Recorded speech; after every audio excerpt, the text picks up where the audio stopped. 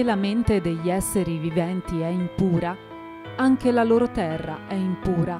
ma se la loro mente è pura, lo è anche la loro terra. Non ci sono terre pure o terre impure di per sé. La differenza sta unicamente nella bontà o malvagità della nostra mente.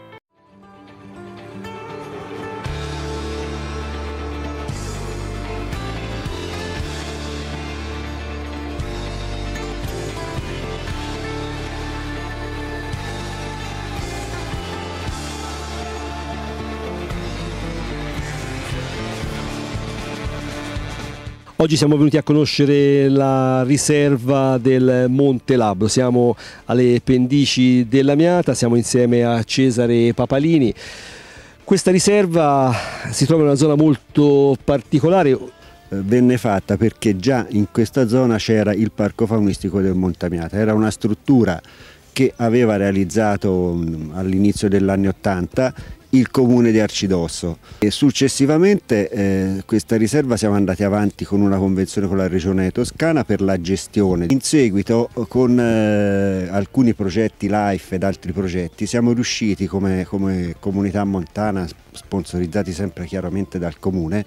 siamo riusciti ad acquistare ulteriori terreni e siamo riusciti a, a fare un, diciamo così, un, insieme di circa 100 ettari tutti gestiti dall'ente pubblico solo ed esclusivamente per la protezione dell'ambiente. Infatti qui eh, si, insomma, ci sono dei recinti dove ci sono stati messi degli animali, abbiamo anche un recinto con i lupi gli altri animali come avete visto nel venire si vedono abbastanza bene, da Aini, Caprioli, ci sono poi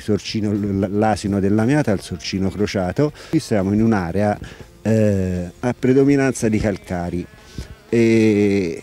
è, molto, diciamo, è sempre stata pascolata. Eh, ultimamente che è successo con l'abbandono diciamo, dell'agricoltura e dei, dei, dei vari diciamo, eh, che non era più redditizia l'agricoltura e la pastorizia in particolare questi bellissimi prati si stavano degradando e noi stiamo intervenendo per cercare di mantenere eh, il più possibile tutte queste praterie perché non si degradino e non diventino poi eh, si evolvano diciamo così in arbusteti e verso altre cose. Poi ci sono anche delle grotte, se vedete per esempio noi stiamo facendo un live ora e ci sono anche delle grotte dove ci vanno i pipistrelli e abbiamo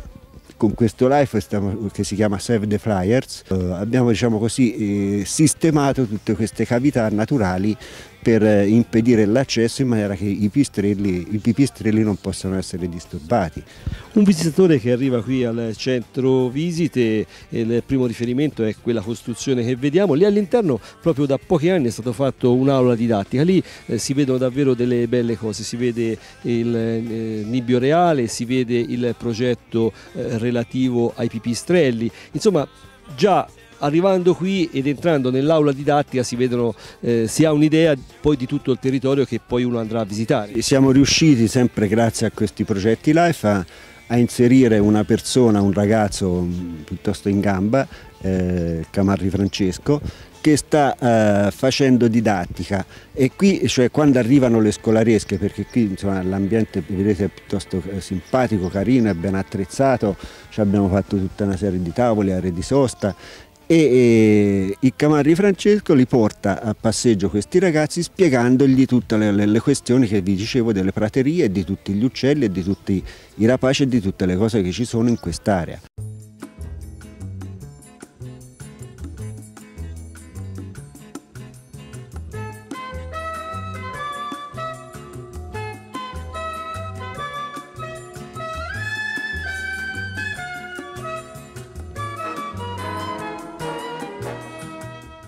Prima di partire alla scoperta del parco faunistico merita passare qui dentro nell'aula didattica, qui ci sono illustrati un po' di progetti e quello che si trova sul territorio. Allora, quest'aula didattica è stata inaugurata a novembre del 2011 con il progetto Life Save the Flyers e eh, che significa letteralmente in italiano salva i volatori. Questa parte, qua è dedicata, scusa, questa parte qua è dedicata al nibbio reale, come vedete qui, e ai rapaci diurni principalmente presenti in zona, quindi sono raffigurati i principali rapaci diurni che sono presenti qui in zona, sulla Miata. Dall'altra parte invece, dietro alle vostre spalle, abbiamo la parte dedicata al, eh, ai chirotteri che eh, sono anch'essi volatori, ma sono dei mammiferi e eh, sono gli unici mammiferi che volano. Il nibbio reale, che eh, è un bel animale, eh, non è poi così difficile incontrarlo poi anche fuori. È bellissimo soprattutto in volo perché viene chiamato anche forbicione. Se eh, lo trovate normalmente, qui vediamo un esemplare in volo, naturalmente una raffigurazione, eh, lo potete distinguere assolutamente da tutti gli altri perché la forma della coda è a forbice, giusto appunto forbicione.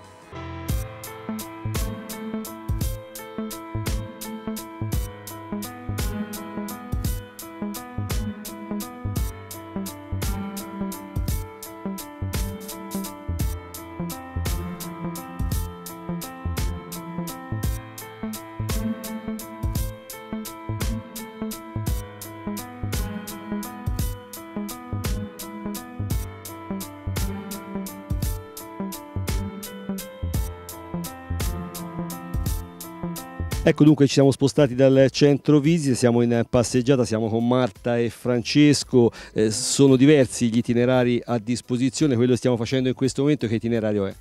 È praticamente quello principale, stiamo percorrendo eh, la sterrata che dalla, dal, dal, cancello eh, di entrata del parco eh, ci dirige verso la direzione e lungo questo sentiero eh, possiamo osservare tutti gli ungulati del parco, quindi daini, cervi e mufloni. Ehm, ci sono due recinti principali, eh, quello praticamente alla sinistra del, del sentiero ehm, contiene cervi e daini e quello invece a destra del sentiero contiene daini e mufloni. Quindi stiamo spiegando praticamente tutte le dif differenze ecologiche sia morfologiche che comportamentali delle specie di ungulati appunto che stiamo osservando e stiamo provando anche ad osservare il lupo. Il fatto è che non sempre tutti i giorni si può vedere tutti gli animali, intanto si vede c'è un bel panorama perché abbiamo eh, Lamiata da una parte, Monte Labbro dall'altra, inflorescenze meravigliose come queste ginestre che ci sono qua intorno, insomma,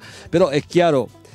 è chiaro che non è che si può vedere che è garantito che si vedano tutti gli animali, però eh, ce ne sono talmente tanti e più o meno si riesce a vederli tutti. Questi ungulati di cui abbiamo parlato sono tutti autoctoni o sono stati introdotti negli anni e arrivano da altre parti? Sono autoctoni, eh, il cervo in natura qui nel comprensorio amiatino attualmente non c'è, però appunto fa parte della fauna italiana, come eh, fa, ne fa parte il muflone, che però appunto anche il muflone in natura non c'è qui nel comprensorio amiatino. Eh, il daino eh, diciamo che ancestralmente non faceva parte eh, della fauna eh, italiana, è, è, stato reintrodotto dai, diciamo, a scopo venatorio ornamentale eh, e di derivazione asiatica, però ehm, in Italia adesso insomma, eh, lo possiamo trovare in tanti settori e anche insomma, in tante aree protette, soprattutto se recintate. Quindi... Il parco faunistico è circa di 200 ettari e eh, sono presenti aree faunistiche all'incirca di 20 ettari, quindi gli animali non sono in libertà ma sono in semi-libertà. Che differenza c'è? Che non sono come in uno zoo, ma sono in aree faunistiche dove possono svolgere il loro ciclo vitale in maniera tranquilla, senza avere problemi, quindi mh, senza avere quelle problematiche che possono sorgere all'interno di alcuni zoo. Questo permette anche di, di visitarli appunto facendo questi percorsi, eh, sapendo dove loro pascolano, dove si abbeverano, eh, è abbastanza facile individuarli e quindi farli vedere ai visitatori. Non solo ai visitatori, in particolare noi ci teniamo a farli vedere alle scolaresche, ai bambini che sono il nostro futuro, per poter far vedere loro come funziona in natura eh, il ciclo vitale degli animali, soprattutto ad avere rispetto, l'educazione ambientale è fondamentale in tal senso. L'esperta del progetto sul lupo è Marta, un progetto che voi state seguendo da tempo. Sì, ehm, eh, adesso in provincia di Grosseto ehm, è in itinere il progetto Life Ibri Wolf che vede la provincia di Grosseto come partner capofila ehm, e che appunto ehm, cerca di eh, preservare l'integrità genetica del lupo in provincia di Grosseto e quindi di evitare eh, l'incrocio tra lupi e cani vaganti e quindi anche di ridurre il problema del randagismo canino. Ehm, si stanno portando portando avanti molte attività ehm, concrete e si cerca appunto di ehm, eh, togliere dal territorio gli individui ibridi, quindi che derivano dall'incrocio eh, di lupi e di cani vaganti. Vorrei tornare con Francesco a parlare un po' di questa vegetazione, un'esplosione di colori, queste ginestre meravigliose, ci sono le ginestre e se ci spostiamo un po', Francesco e Alessandro ci segue, abbiamo qui anche degli esemplari di, di viola etrusca, magari ci mettiamo anche giù, mi tolgo da, dal fargli ombra, allora, questa è viola etrusca. Questa è viola etrusca, dobbiamo ringraziare un tedesco perché è stato lui a riconoscere la differenza tra questa viola è un'altra viola che è molto simile ma ha questa parte qui, quindi il fusticino molto più corto. Quindi non è, è recente, è recente la scoperta, circa una quindicina d'anni fa all'incirca. Quindi insomma si è stabilito che è una specie a sé stante. Specie endemica, quindi tipica di qui, ce l'abbiamo solo qui in questa zona, eh, quindi Monte Labro, Monte Buceto, Monte Aquilaia, quest'area qui, e poi alle Cornate a Gerfalco. C'è di due colori, ora questa che abbiamo qui sotto è, è una viola veramente viola, però ci sono anche eh, di altri colori. Sì, eh, c'è un colore più sul chiaro, quindi bianco-giallo, e un altro intermedio, quindi sul rosino. Una raccomandazione da fare veramente a chi viene in escursione di, di, non provare a coglierli, intanto perché sono protetti e poi perché magari chi passa dopo vorrebbe trovarceli e vederli. Certo, assolutamente sì. Un'altra particolarità di questa zona, mi fa piacere precisarlo, è che tutta questa zona per arrivare fino a tutta la riserva del Monte Labro è riconosciuta come sito di interesse comunitario e sito di interesse regionale e è così nominata splendide fioriture d'orchidee su praterie calcaree. Quindi da ora fino a eh, giugno compreso noi troviamo delle fioriture scalari per arrivare fino su al Monte Labro, quindi man mano che saliamo di altitudine, che sono favolose.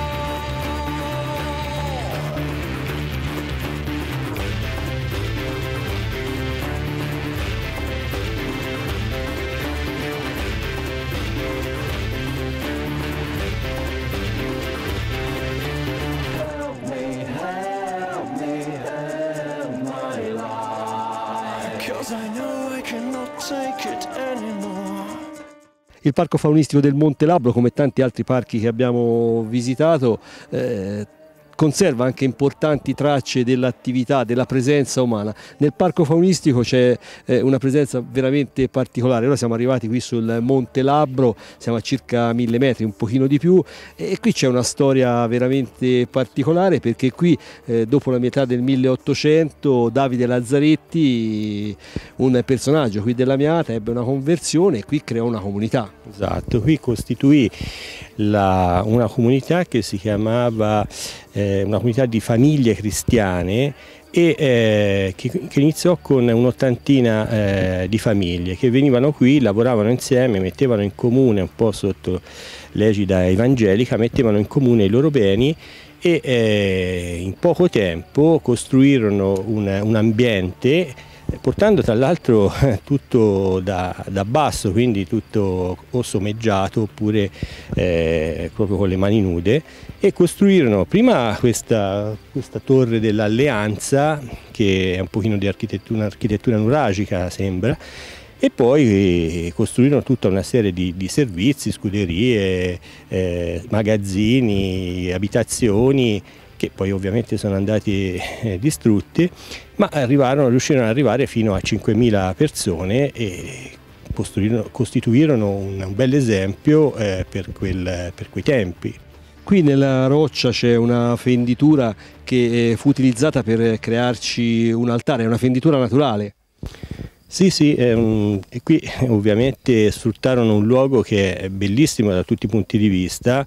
eh, sia per la posizione, sia per eh, l'aspetto del eh, panoramico, ma soprattutto per l'eremitaggio. Questo era un luogo eh, ehm, proprio di una tranquillità impressionante e quindi era il luogo ideale per pregare, per lavorare insieme, per stare insieme, per vivere in un modo eh, diverso da quello che in quell'epoca vivevano i cittadini della, della Miata. L'esperienza di Lazzaretti durò in realtà una decina d'anni, fu ucciso quando alla testa di una processione stava andando verso, verso Alcidosso, era stato eh, spacciato le sue processioni come eh, elementi di ribellione, come mh, cortei di protesta, in realtà non era questo. Però c'è da dire una cosa, ha lasciato un seme importante perché tanti eh, se lo ricordano la data e poi fu anche avveniristico perché allora lui parlava di cose che, che oggigiorno sembrano naturali, lui parlava del voto alle donne, lui parlava di istruzione obbligatoria per tutti, parlava di, di un lavoro eh, di tipo cooperativistico. Certo, certo, qui c'era una scuola proprio per, per i bambini, eh, il voto lo avevano eh, le donne direttamente perché eh, votavano gli organi interni alla, alla comunità, eh, quindi fu diciamo il primo esempio. E per quanto riguarda appunto la cooperativa addirittura andava oltre perché mettendo eh, in comune tutti i guadagni eh, dei lavoratori riusciva a sopperire anche alla miseria di quel periodo perché erano veramente periodi difficili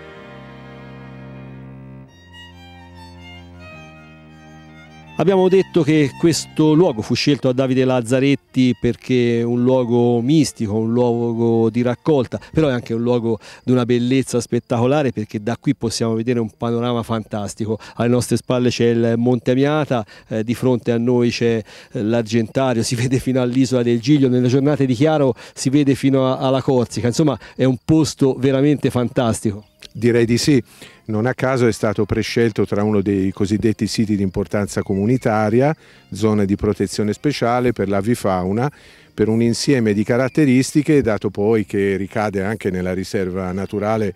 del Monte Labro, quindi delle peculiarità che hanno sempre la loro conferma tutti gli anni, con specie di uccelli nidificanti, con mammiferi, anfibi, rettili molto interessanti e soprattutto molto di grande valore conservazionistico.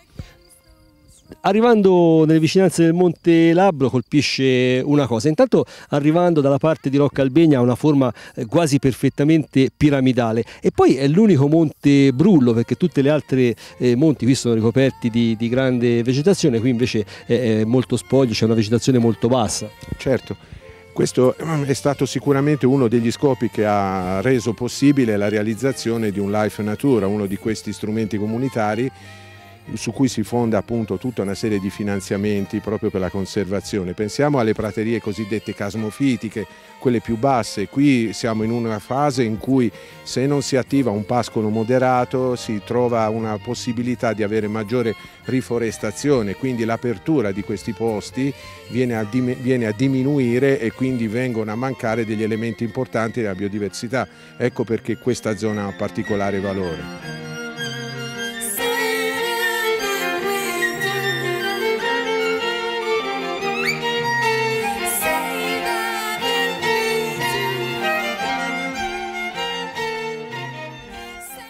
Conoscere e viaggiare attraverso le riserve naturali provinciali vi permetterà ogni volta di tornare a casa con ricordi e esperienze diverse anche per gli ambienti che potrai osservare, dal mare alla montagna, dalle paludi ai boschi più impenetrabili. Esse costituiscono un immenso patrimonio storico, culturale e naturalistico ambientale che potrai scoprire e fare tuo con intelligenza e sensibilità. Grazie di tutto cuore e visitateci!